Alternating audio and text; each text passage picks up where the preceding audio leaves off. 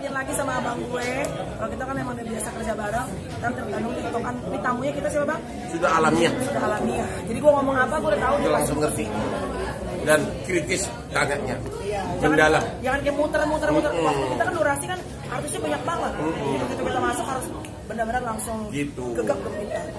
Tadi kan abang bilang kayak ada mau bahas artis yang ada masalahnya. Oh nanti, Oh, nanti. jangan sekarang dong. Kan dituntut abang. Pasti terkait dengan hukum. Kan Ya. aku kan diminta sebagai host selalu terkait dengan hukumnya gitu. Ada hukumnya, ada entertainmentnya. Siapa Mm-mm. selalu? Kira-kira siapa? Nanti gua akan bongkar berapa kasus dia sudah ada. Waduh, ngeri, ngeri. Tuh.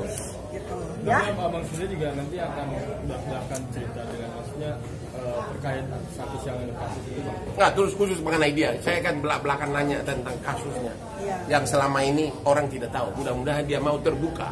Yes. Karena aku udah tahu sebenarnya.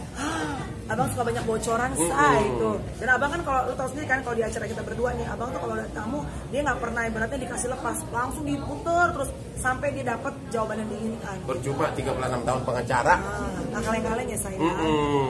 Tapi dengan tetap eh, karakter bang atau atau mengikuti eh, Karakter nggak bisa dirubah. Ya.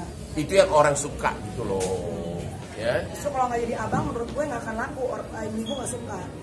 Ibu-ibu paling suka sama aku seluruh Indonesia.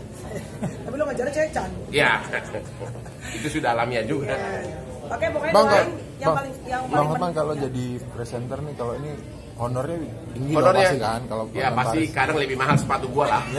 Nggak, lo tau nggak?